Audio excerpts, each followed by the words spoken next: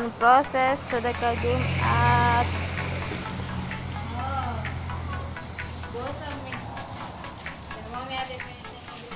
Tapos,